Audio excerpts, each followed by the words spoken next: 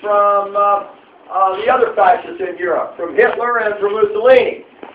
The uh, Spanish Republic, uh, they're thought to be too uh, socialistic, possibly communist. No one in Europe is going to want to uh, assist them, except Russia. Russia will assist the Spanish Republic. So if I have a question that says, who provided the only official support for the Spanish Republic? It's going to be the communists. It's going to be the Soviet Union, Russia. Now, what, uh, what about the Lincoln Battalion? The Lincoln Battalion was uh, a number of volunteers from America, and these uh, volunteers were uh, two to three hundred in number. These are volunteers from America, not part of the government, people who simply went over to assist the Spanish Republic in the fight against fascism. They were smart enough to understand the dangers of fascism in Europe at the time. Now, the revisionist view of this is 2,000 to 3,000. And that means that they've just redefined the term. Two to 3,000 is an indication of everyone around the world who volunteered, who went to assist the Spanish Republic in the fight against uh, Francisco Franco, the fascist. So uh, again, the Spanish Civil War, there's a Link Battalion for you. Then the Munich Conference. The Munich Conference is about Czechoslovakia. So uh, the Sudetenland region, this is about a third of Czechoslovakia. Hitler has his troops on the border ready to take it. And at the Munich Conference, Neville Chamberlain is going to step up before the podium. He's going to have a sheet of paper. He's going to say, I have in my hands peace in our time. Peace in our time. And so he's going, uh, Neville Chamberlain's going to kind of deal with Hitler uh, to avoid war by giving Hitler a third of Czechoslovakia. Now Hitler's going to take the rest in the spring. But uh, this is the prime example of appeasement. Neville Chamberlain, peace in our time. Um, and again, this uh, deals uh, with the Czechoslovakia. So uh, we're good on that. Uh, there's Neville Chamberlain, peace in our time. Battle for Britain. The battle for Britain's in the skies over Britain, and the uh, radar is the device by uh, which uh, uh the English will be victorious. Radar. Radar. They'll defeat the uh, Luftwaffe. So uh, good on that. Royal Air Force radar. Tokyo napalm.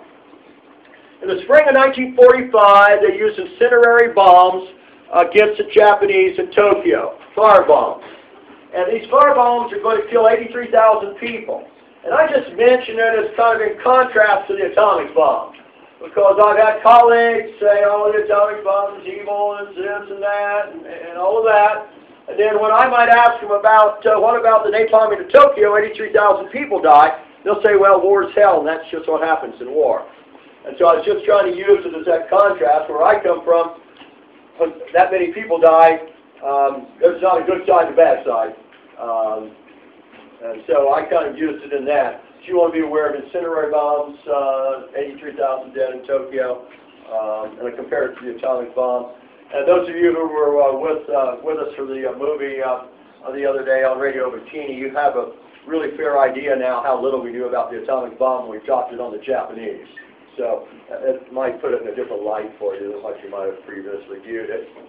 So um, John Foster Dulles. Dulles is the uh, Secretary of State under Eisenhower. There's a question that's going to ask you, uh, who's the uh, major contributor to the foreign policy in the 1950s? And it's going to be uh, John Foster Dulles. He comes up with liberation and massive retaliation and all those other policies. John Foster Dulles. The St. Louis was that ship that left Hamburg, Germany, uh, right after the night of the broken glass. 900 desperate Jews wanting asylum, promised asylum in, uh, uh, in Central America. It ended up being a hoax. Kicked out of Miami by the immigration officials, back to Europe, and the traditional view is they were rounded up and sent to the concentration camps. The um, revisionist view is that they had money, bought their way to France, didn't get sent to the concentration camps until very late in the war. Thus, there were a number of them that survived the concentration camps came to St. Louis, 900 and some desperate Jews looking for asylum. Uh, Six million Jews died in the Holocaust. The final solution is Hitler's, uh, uh, Hitler's final solution is uh, simply uh, the Holocaust. Um, remember Hitler's uh, war aims, he, or Hitler's aims. Um, he wants to eliminate the people in Eastern Europe and those he views to be inferior. So the final solution is, in essence, the Holocaust. Operation Magic, the attempt to decipher the Japanese codes before uh, Pearl Harbor. The um, operation is successful, though Pearl Harbor occurs anyway. Okay. Uh, Pearl Harbor, uh, December 7, 1941, which is on the test. Arsenal for Democracy, not on the test. Tripartite Pact, that means three. This is the uh, Axis powers. This would be Japan, this would be Germany, and this uh, would be Italy. Axis powers. Manhattan Project, the um, Albert Einstein's catalyst for this, and uh, this is the atomic bomb program. Uh, Hiroshima Nagasaki, where the atomic bombs were dropped. That's on the test. Uh, appeasement. I'll take you down to the uh, bottom of the lecture study guide where it says, Why did England and France appease Germany? And uh, you'll see that uh, on the uh, World War II handout. And this is item number three. There's, uh, uh, let's see, three, six, seven uh, reasons. I'll have a uh, multiple choice question. It'll ask you uh, all the following are uh, reasons for the appeasement of, of Germany except. So I checked out on the World War II uh, handout. And again, I'm going to I'm trying to do this real quick because I've got this other stuff that I want you to hear before you get out of here today. You've heard most of this, you know, in class, I hope. So, um, so let's see, Cold War. The Cold War's on the test, uh, probably a multiple choice question. Start of the Cold War uh, handout. It gives you the definition and the characteristics. Okay? And let's see, then I've got uh, the uh, charters, the conferences. This is uh, deals with uh, Casablanca, Tehran, Moscow, Yalta, and Potsdam. And what you need to be able to do for those conferences and agreements and all that other stuff is to be able to say, um, these are World War II uh, situations, you need to be able to say, um, where did it occur, who are the participants, what happened. I'm going to do one of these because, again, I need to get to the, uh, there's an essay on the uh, comprehensive, I'll be able to talk to, talk to you about that. Um, so I'm going to do Potsdam. This is in Germany. Uh, we're going to see some new faces at Potsdam.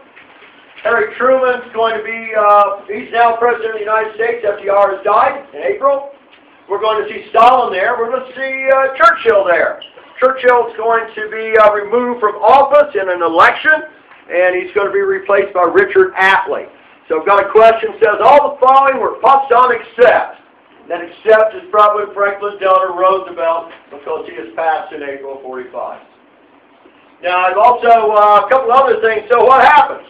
Well, what happens is that uh, the baby's been delivered. The atomic bomb has been tested successfully. Message to uh, to uh, Truman. We also um, are going to have the Potsdam Declaration. The Potsdam Declaration is a warning to Japan that we have the atomic bomb and we intend to use it. Now, they don't tell them what we have, uh, but uh, there's this announcement by Truman. The Japanese need to surrender. Uh, if they do not surrender, they will face prompt and utter destruction.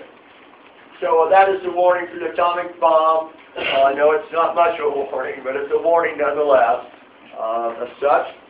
So um, that's an example of what we're looking for. So be able to go through the Atlantic Charter and the others and say where, who, and uh, what result. And again, uh, there's probably four or five questions from there. So check, uh, check that out. And uh, Treaty of Portsmouth. Uh, the Treaty of Portsmouth from the 1904 uh, Russo-Japanese War. 1905, you have the Treaty of Portsmouth. It's Portsmouth, New Hampshire. The arbitrator is the President of the United States, Theodore Roosevelt. The Japanese go home angry. They didn't feel they were treated very fairly by the arbitrator, the President of the United States. So uh, We've got that. And let's see, I've been in this other, CIA, Central Intelligence Agency. Pick up on that again. There's Potsdam, we're good. Marxist Destiny, 1946. Stalin says, I'm going to go out and spread communism around the world.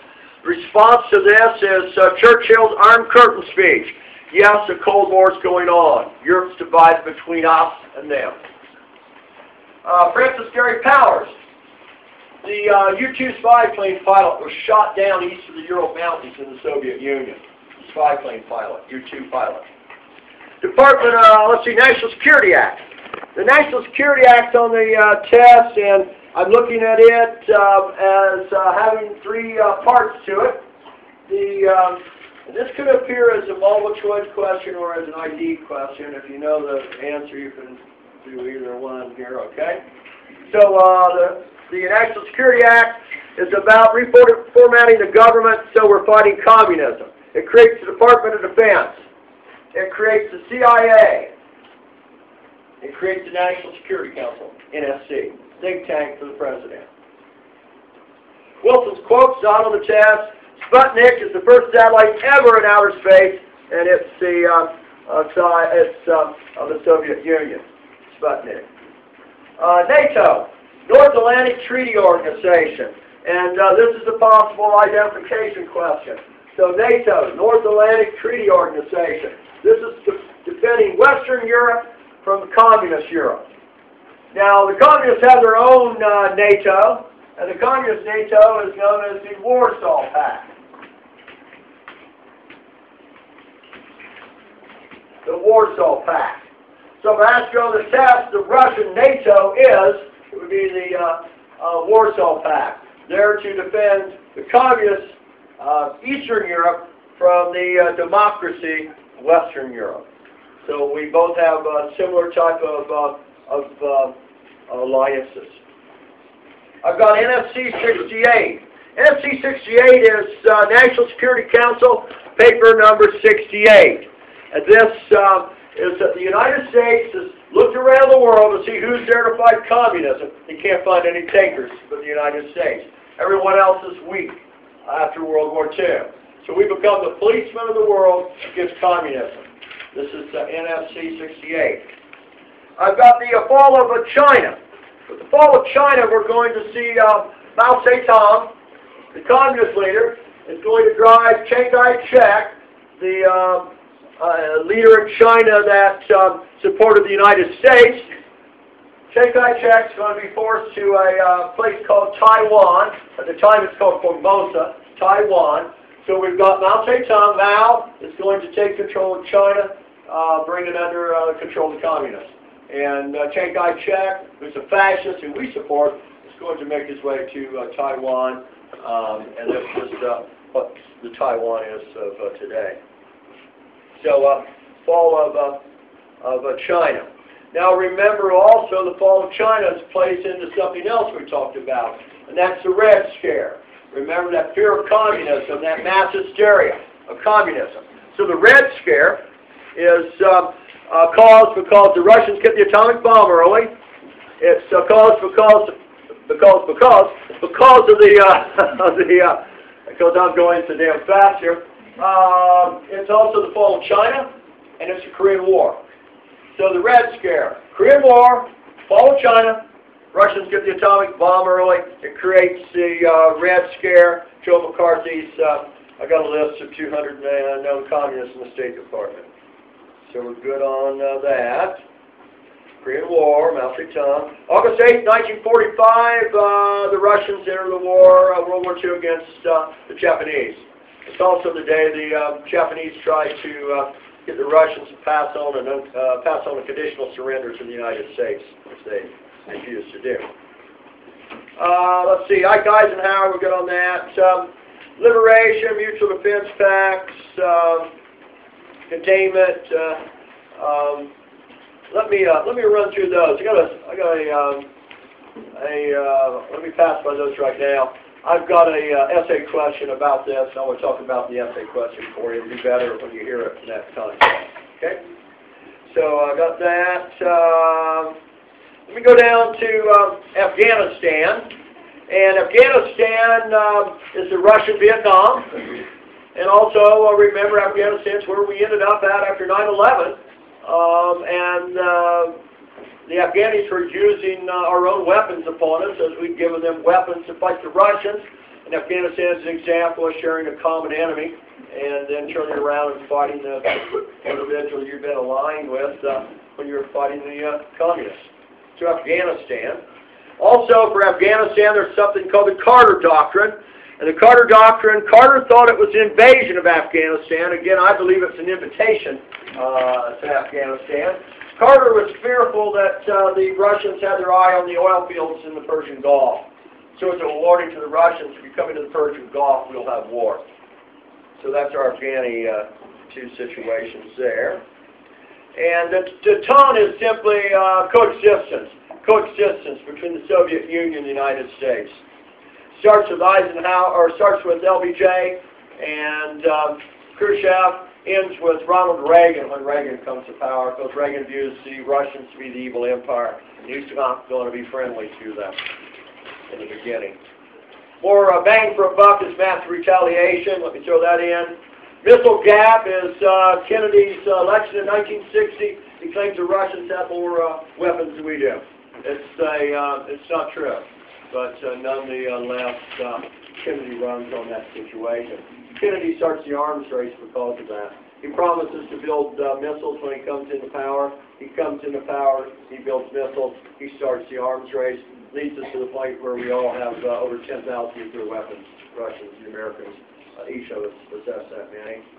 Uh, the Contras were the, um, I doubt that's on the test, but they were the uh, uh, group supported by the United States against the Sandinistas in uh, Nicaragua, uh, communist social system power, um, Ortega, and uh, uh, not Ortega, but uh, a communist uh, leader was in uh, power, and uh, uh, so we uh, supported the uh, Contras you wanted to hear uh, some of that, you could listen to The Clash. It's a CD called The Sandinistas. That's who they were fighting, the Contras. Uh, Daniel Ortega was in charge of uh, Nicaragua at that time. Uh, Carter Doctrine, Marshall Plan. Marshall Plan's on the test, and the uh, Marshall Plan uh, is a European recovery program. We're going to re rebuild Europe. We've got like $12.4 billion to spend the money in the United States to uh, get uh, create jobs for returning servicemen and uh, going to rebuild Europe. Marshall Plan European Recovery Program. Berlin blockade goes back to uh, Germany's been divided into two pieces. Here's Berlin. It's a free city. One side's democracy, one side's communist. Stalin places a roadblock. This is the Berlin blockade. We end up flying supplies into um, into uh, West Berlin. This is called the Berlin airlift. The question would ask you, what are we airlifting in the Berlin airlift? We're not sending in troops. We're not evacuating people. We're sending in supplies, coal, food, medicines, things like that. So uh, the Berlin airlift, that's tied into the Berlin blockade. Uh, there's the National Security Council. There's December 7th. There's Warsaw Pact. We did that. I'm going to do these others. Um, we'll do counterinsurgency here in a minute. Uh, Cuban Missile Crisis and the Bay of Pigs. I would imagine uh, both of these will be on the test. Uh, on some tests will be the um, uh, it will uh, be an identification. One will be an identification question. On the other test, the other will be an identification question. There'll be a multiple choice question also. So one between these two, they're both going to be on the test, and uh, so uh, they're tied together as such. Bay of Pigs invasion planned by Eisenhower for the invasion of uh, Cuba to overthrow Fidel Castro. Cuban exiles trained in Guatemala by uh, uh, the CIA. Kennedy comes into power, likes the plan, wants to implement it, gets it, uh, the invasion uh, started, then he gets cold feet. He uh, does not provide any type of military support for the, uh, the amphibious invasion. Um, Castro is, is there waiting with his troops, and, and he hammers the uh, Cuban exiles. Now, uh, the next thing is the Cuban Missile Crisis. Well, the Cuban Missile Crisis, if you want to avoid a, uh, a major um, um, war, is what's going to happen. The missiles have been put in Cuba. The missiles are intended to stop the Americans from ever invading again Cuba. Kennedy's going to confront uh, Khrushchev. It appears that Kennedy's going to take a step back. In all actuality, he's not taking a step back. Or uh, Kennedy's, uh, let me do this again, I'll do it quick. Kennedy's going to appear to uh, stood tall and Khrushchev stepped back. And that's why the example for brinksmanship um, is uh, Kennedy, uh, the Cuban Missile Crisis. In all actuality, we discover later that both had taken a step back. So um, it's not a very good example after 1989. So Bay of Pigs invasion, failed invasion, attempting to take over Castro. Cuban Missile Crisis, again, uh, missiles in Cuba, uh, brings us to the possible break of war. Uh, they both agree to uh, step back, remove the missiles from Cuba. Kennedy agrees never to invade. The United States will never invade Cuba again. So we're good on that. Hoover's offer to England. Uh, Hoover's offer to England's uh, right under the, the, characterization from war to peace again. Young plan, uh, Dawes plan. 1929, uh, the British reject an offer from Hoover, President Hoover, to trade their debt for uh, British Honduras, Bermuda, and Trinidad. Uh, seems rather obscure, but in all actuality, it tells us at this time the United States are still imperialists. They're still willing to take from third parties, other countries, in exchange for debt or uh, whatever else. So uh, check that out. And I got the Greater East Asian Co-Prosperity Sphere. The Greater East Asian Co-Prosperity Sphere is the uh, Japanese Manifest Destiny. Military-industrial complex, Eisenhower, warning about the buildup of uh, massive uh, amounts of weapons during times of peace. The prime example of that from Reagan's first term in office. Non-aggression pact, the Nazi-Soviet pact, that's uh, uh, going to be uh, uh, the Nazis and the uh, communists. So I'll ask you on the staff, if I ask you this, it will be who are the members of the Non-Aggression Pact in 1939? Soviet Union and Germany. And uh, let's see, I did the baby's been delivered. Hitler's foreign policy aims on the uh, World War II handout is item number two. Check that out.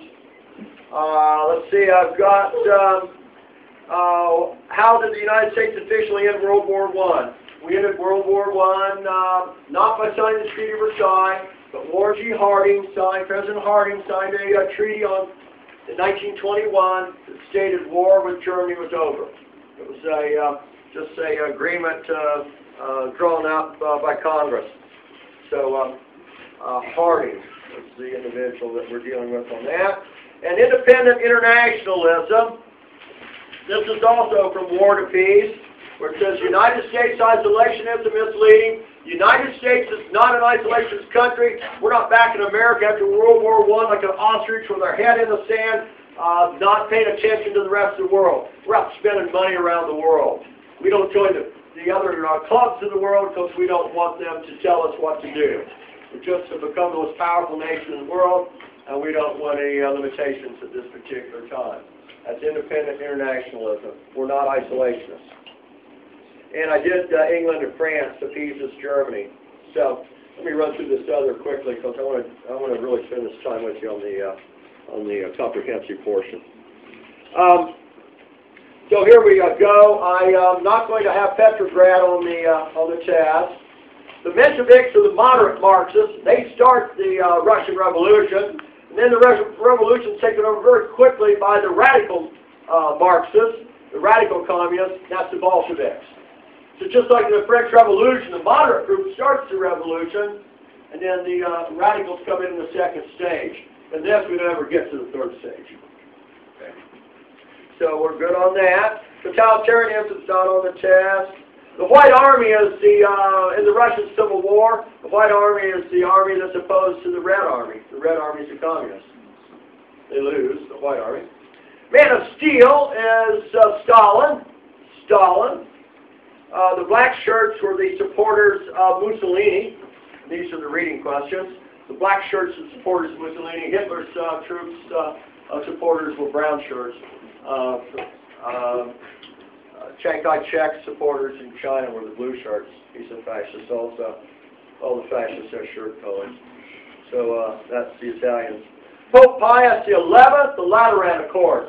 The Lateran Accord is an agreement between the Roman Catholic Church and Mussolini in Italy. Mussolini is going to give the Roman Catholic Church money. He's going to make the uh, Roman Catholic faith the faith of uh, the state religion of Italy and he's also going to create Vatican City. The Vatican City. Vatican City, that separate entity that's con uh, controlled by the Pope, by the Roman Catholic Church, that was uh, from uh, Mussolini. What's Mussolini going to get from the Roman Catholic Church? The Roman Catholic Church is uh, going to agree that they're not going to uh, criticize him or condemn him for any actions he might take. Big mistake. big mistake. They're still apologizing about that today. So uh, that's uh, the Lateran Accords. Battle of Grain is for self-sufficiency in Italy. Uh, the idea that they're going to be able to feed themselves. Everything else goes uh, uh, to hell when, uh, when they do that. They can only concentrate on one thing at a time. Spartacus Revolt. Uh, the Spartacus Party is the Communist Party in Germany. The Weimar Republic, that's that new German republic that comes at the end of World War I. November Criminals, not on the test. Uh, Joseph Goebbels, Goebbels, not on the test. Uh, Nazi, not on the test. Mein Kampf uh, is uh, Hitler's book. He writes while he's in prison for the uh, failed beer hall putsch, the attempt to uh, take over the uh, German government. They throw him in prison. Hitler writes Mein Kampf. That's the reference book for the uh, Nazi movement. Hitler is the uh, SS. He's in charge of the SS after the uh, Night of the Long Knives. And um, that's uh, the SS is Hitler's uh, private stormtroopers, private army. It's his private army. Uh, Grapes of Wrath. That's John Steinbeck's book about the Dust Bowl out in Kansas. For Whom the Bells Toll. That's Ernest Hemingway's book about the Spanish Civil War. Fuhrer is the title that Hitler uses. Uh, Mussolini would use El Duce, which would be the leader. So that's his title, but instead of being president, he's Fuhrer. Um, Gestapo would be the secret police. The Night of Broken Glass is the night that, uh, if you've seen Schindler's List, when the, uh, um, uh, the stormtroopers go into the ghetto where the Jews live, beat up the Jews, put the Star of David on their businesses, uh, start to deny them uh, civil rights and civil liberties. Uh, Night of the Broken Glass. Peace Land of Bread is um, um, Lenin's uh, slogan for the uh, Russian Revolution. Okay. Leon Trotsky is uh, the muscle of the uh, of the uh, uh, Russian Revolution. Lenin's the brain, Trotsky's the muscle, the military portion. The Wasteland. This is T.S. Eliot's book about the collapse of European civilization after World War One. You'll see it reflected in the art at the time. Animal Farm. How many people read Animal Farm? Yeah, great. Animal Farm. Uh, uh, Orwell's book uh, uh, dealing with uh, Stalin and, and uh, that uh, situation. Uh, 1984, that's Orwell's book also, Big Brother's Watching You. Hey, Big Brother's more than watching you. Uh, Big Brother's listening to all your uh, phone messages and everything else. It's called the Patriot Act. Uh, 1984 is also a David Bowie album, uh, if you know that. Okay. You should know that. Uh, Lenin's Opportunity. Lenin's Opportunity. This is a crazy plan that works. Uh, Kaiser Wilhelm II uh, and his military officials are saying, what can we do to upset the Tsar in Germany? What can we do that would create chaos or, or disrupt the Tsar? They come up with this plan. So, well, you've got that uh, fugitive that got exiled from, uh, from Russia. His name's Lenin. He's a, uh, a revolutionist. Why don't we find him, put him on a boxcar, a train, send him to Russia and release him? Maybe he can bring down the government. They do, and he does. It's a great plan. Don't ever count on that happening. It's a great plan. So uh, that's uh, Lenin's uh, opportunity. Now, the comprehensive portion. We'll do this, this essay first. Got two essays. You're going to answer one for 30 points. So, I'm just going to tell you the damn questions. How's that? Okay? Here we go. First one is um, explain the foundation of Western civilization. Explain the contributions and importance uh, today. For that uh, particular question, I got the other question about the Cold War. So uh, this is just for those of you who would yearn for the uh, earlier portion of the uh, class here, or whatever. This might be easier, it might be harder, so this is the deal. The foundation of Western Civ.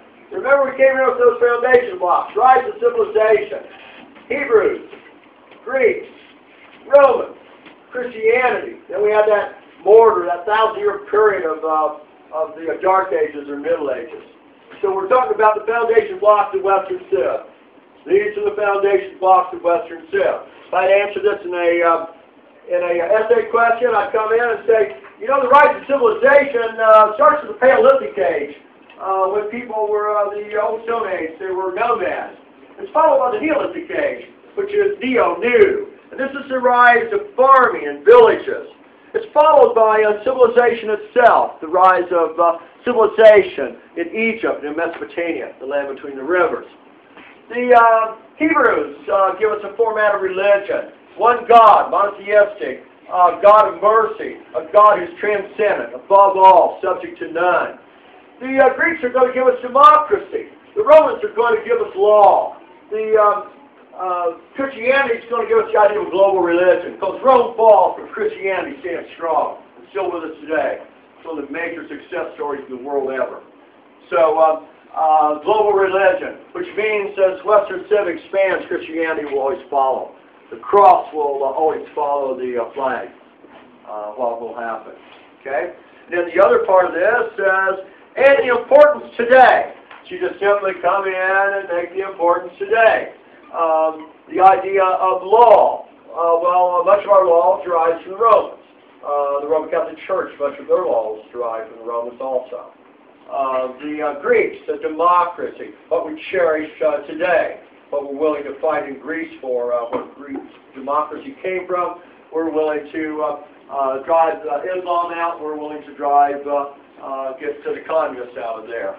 the Hebrews, this is the format of religion for the three major religions in Western Europe, Christianity, Islam, and Judaism. And then the rise of civilization, you've got to start someplace. Okay? This is the start. Okay? So that's one question.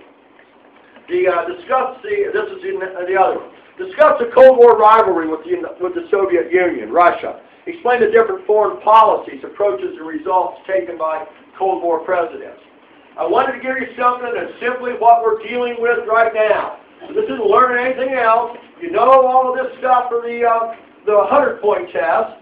And so if I was going to do this, I'd come in, I'd do an introduction, I'd kind of define what the Cold War is, which we talked about earlier, definition. I'd come in and say, oh, foreign policies. So what you're going to uh, do in your Cold War notes is simply come in, and we've got our first policy, and this is containment.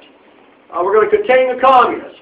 We've got, uh, and for these policies, remember, for the test, we were going to say, uh, whose policy is it? What is the policy? What's the example?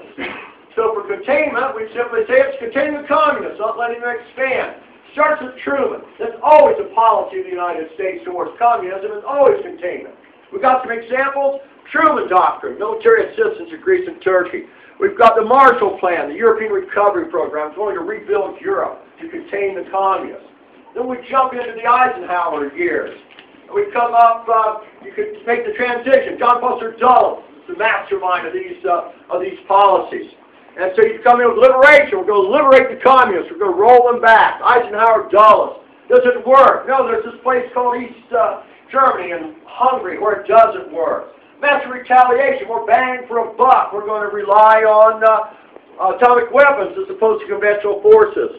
Brinksmanship. We're going to bring those Ruskies to the brink of war. They're going to back down uh, because they're godless communists. Uh, best example of this going to be uh, going to be uh, Kennedy in the uh, Cuban Missile Crisis. Um, Dulles, he has these defense pacts, mutual defense pacts, modeled after NATO. And um, then we get down to uh, uh, Kennedy, counterinsurgency. Uh, Green Berets, to train other people to defend themselves. First use in Vietnam. Let me tell you, it didn't work very well. We ended up sending our troops in. All we realized is they couldn't defend themselves. So we went in to defend them. In 1975, we're gone. So this is um, uh, the um, deal here. And uh, let me read the question again. Discuss the Cold War rivalries uh, with the Soviet Union, Russia. Explain the different foreign policies, approaches, results taken by the Cold War president. So um, I conclude with just like a conclusion and I basically uh, say uh, something to the point that all these policies, aside from containment, were just uh, uh, driven by politics and, and uh, factors like that. And they're all failed policies aside from containment. I'll leave it up to you if that works. Remember China fell. So, okay? That's worth 30 points. Now there's 20 points left. And here they come. There's identification questions. There's 10. You're going to answer five. We're four points apiece. I'm going to use some ideas from the um, uh, UCC 21, which we've been talking about. And so I'm going to uh, use the ones that we've probably been struggled with. We use some of those. primary sources, first-hand evidence, first-hand account. I've talked about historiography, the study of history, not the writing of history, but the study of history and the methods of history. Revisionism. Revisionism is the idea of replacing one interpretation with another, not replacing one source with another. Revisionism isn't about sources, it's about interpretation. Um, uh, so those are the kind of things. Oh, the other one is that uh, what determines the, the uh, uh, source, the historical question you're asking. What are you trying to uh, uh, achieve or learn? So I've got two or three off of there out of the ten. Okay. then I've got some of our early things we talked about that I consider to just be the main situation of all this. So I've got a couple things from Origins. leaky thing attached to the, her, the start of the course here. Uh, something about the dinosaurs, possibly. Uh, explain uh, the uh, extinction of the dinosaurs. What's that mean to us today? Dinosaurs die in climate. It gets too cold and it gets too warm. Uh, what do we got? We got this global, uh, we got this um, climate change deal, global climate change going on. We talked about nuclear winter, which would bring us to cold. We talked about, also talked about the ozone. Um, uh, depleting the ozone with uh, aerosol cans. So, uh, so what does it mean to the world? So we learned something from the dinosaurs. I've also got a very abstract question. What is the final word in Origins? That, um, again, this is a um, uh, thousand-page book. And remember, this is the end of the book. And uh, I said, uh, you're on top of the uh, Empire State Building. A wind has swept you off, and you're falling to, uh, to a crash on the concrete. It's called gravity. What, uh, uh, what would be the last words you'd uh, uh, whimper out or yell out? And we all agree it's oh something, and uh, something like that. So, uh, and then what kind of punctuation would you have? Uh, punctuation, would it be a, a period or would it be a mushroom cloud? Would it be an aerosol can? Uh, what kind of uh, what kind of uh, what kind of punctuation might you have on that? So this is a question where there's no right answer where you get marked off on this is that deal that we always have in history in our own personal lives. You say, this is what I think. You know, nobody gives a damn what you think unless you have something to back it up. And you can say, I think this because. So you'll say, I think the last word would be, and then you tell me why. Okay? And that's what people like to hear anyway. Everybody's got an opinion, but everybody wants to know what that opinion might be. So here's the last one here. Don't get excited yet. This is the last call here. Okay. And uh, so I got something like what I talk about: classical humanism and uh, faith. Faith, classical humanism. Talked about that. That's on the test. Uh, had some general information, a general deal, like industrial revolution, shift from hand tools to power tools. Machine power replaces animal power. Had imperialism. Uh, one country controls another country politically, economically, and culturally. And it's got in Eli Whitney, which changed the, the history of the United States with the cotton gin, interchangeable parts. Had a war uh, set off in uh, May 14th and 15th, 1948, in Israel. Israel gets its uh, freedom. The next day, the Arabs attack. And then I've got uh, Darwinism and social Darwinism. Darwinism, natural selection. Um, Herbert Spencer, uh, social Darwinism, survival of the fittest whether you're surviving because of your physical uh, situation or your uh, economic situation. And then finally I have, um, as another possibility, the modern state system. Remember, the modern state system. Who could forget it? Uh, the balance of power. All countries deserve the right to exist uh, uh, regardless of the ability to defend themselves. All countries have the right to make their own foreign policy. Those are some examples, main examples. There's enough of them on there that you'll be able to handle that no problem. And to quote the Grateful Dead, what a long, strange trip it's been. Take care. See, see you next time.